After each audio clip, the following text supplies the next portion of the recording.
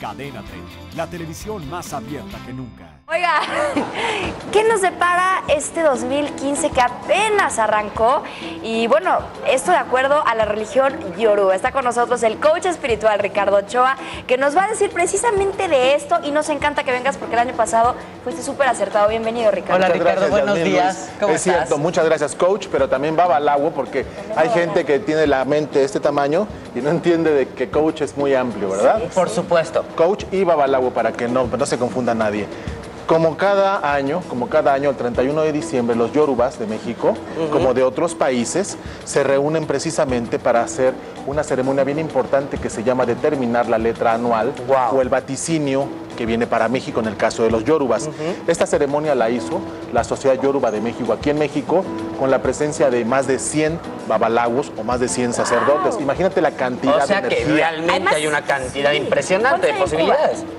¿Cuántos babalawos? Sí, Híjole, no te sabría decir el censo. estaba oyendo que casi había más en México, ¿no? Yo creo que si en Cuba hay dos sociedades importantes, aquí en México la más importante de México, que no es la única, hay que aclarar, pero la más importante es la Sociedad Yoruba de México, que aglutina no solo babalawos, sino también olorizas o santeros, pero bueno, es otro rollo que más adelante les platicaremos. En general hablaron de varios tópicos, me supongo, y Así habrán es. hecho una exposición de posibilidades y vaticinios. Así ¿Por dónde es. empezamos? ¿Por dónde empezamos? El signo que nos rige. En este caso, el signo que rige a la nación mexicana para este 2015 es Osalofo Bello. Ahorita le voy a explicar. ¿Y qué santos rigen?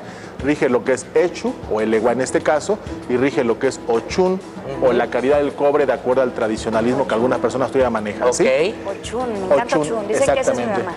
Es una, es una dama en toda la extensión de la palabra. ¿sí? ¿Qué dice Osalofo Bello? Es un signo complejo desde el punto de vista de país. Hay una cosa que a mí me preocupa muchísimo y sí lo quiero decir así fuerte para que los papás Clarito. reaccionen.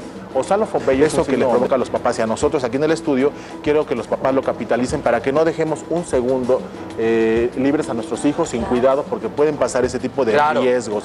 Las autoridades, por favor. Osalofo Bello es un signo donde habla precisamente el alacrán. Dice que cuando el alacrán pare a sus ninfas o a sus crías, estas se ponen encima de ella y se la comen, la devoran.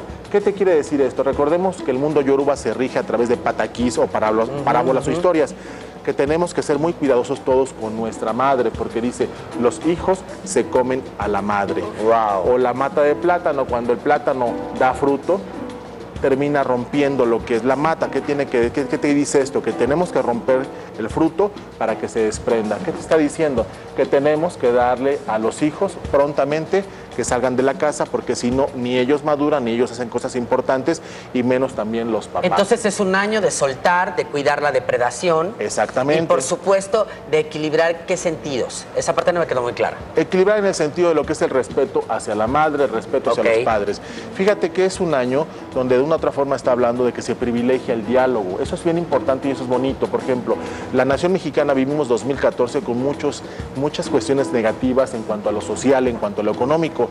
Una parte bien positiva que se ve en este signo, Osalofo Bello, que habla precisamente un crecimiento económico. Un crecimiento económico, dice Ireola o Yale Timbelaye, dice la riqueza que viene caminando para la nación azteca. Que ya Eso está- nos afecta de manera general, cualquiera que sea tu signo del zodiaco, tu fecha de nacimiento, simplemente por ser el año Así de es. este signo, Así nos es. afecta a todos de manera positiva. Así es, desde el punto de vista económico ya ese es un buen signo. Por ejemplo, tú que este año lanzaste, el año pasado lanzaste tu, tu libro, seguramente este año va a haber un buen crecimiento desde el punto de vista de la venta.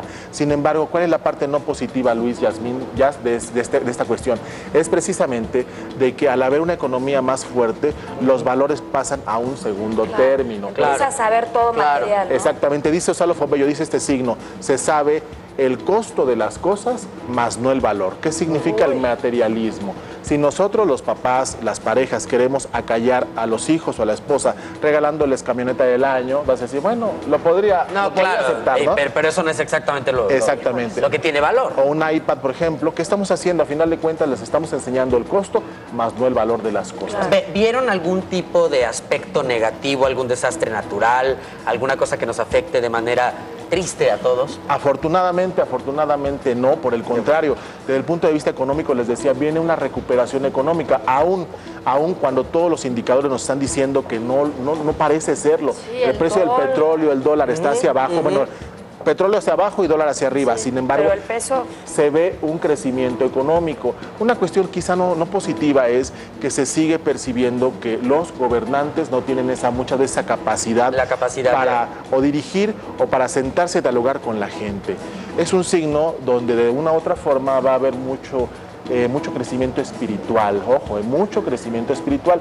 La gente más que nunca este año empieza a acercarse a los diferentes símbolos religiosos o símbolos de fe, nada más que las personas que nos dedicamos a esta cuestión tenemos que ser muy cuidadosos de no empezar esas guerras. Recordemos, Jazz, Luis, que al final de cuentas todos vemos hacia arriba, o sea, vamos a quitarnos estas etiquetas de que este es cristiano, este es babalago, este es judío, y que todos al final de cuentas buscamos el bien en común. ¿Cómo podríamos neutralizar algún aspecto negativo que pudiera afectarnos la llegada de este signo al universo? Muy buena pregunta. Y protegernos, ¿no? Sobre todo lo que decías hace rato de, la pederastia y todo eso. Oye, Exactamente. México, no sé si saben, pero es el primer país que más niños exporta para trata. Entonces, Turismo ¿cómo nos sexual y demás. Nos quedan Bueno, 30 segunditos. ¿Qué les parece? ¿Qué les parece si los voy a invitar a que visiten la página oficial? Tenemos ahí una página donde tenemos muchos de los consejos. Dice IFAO, dice la cuestión Yoruba, en el Ebo, en el Ebo, que es un ritual, está la respuesta de muchos de esos problemas. Yo les agradezco infinitamente la invitación Gracias. y recordemos que Esta es bueno, tu casa. recordemos que al final, al final la letra del año la construimos todos, cada uno de nosotros con nuestro